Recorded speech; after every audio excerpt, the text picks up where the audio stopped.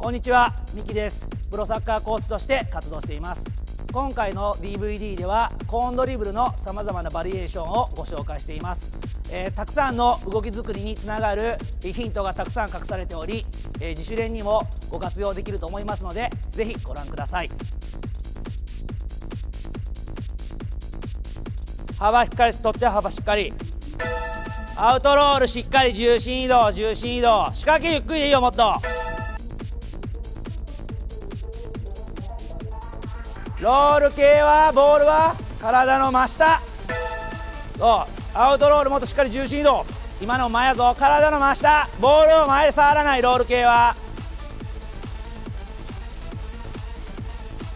仕掛けてポジションを確認して。トントントン。もっと早くもっと早く。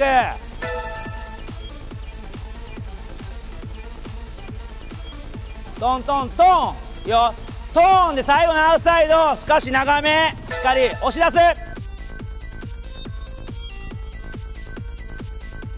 足の裏の足首で引くのもしっかりとスキップのリズム。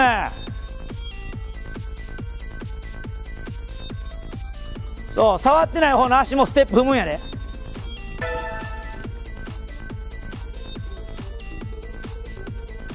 ダブルタッチはしっかりと2回横にコーンの横にかわしてください。斜め前いかない。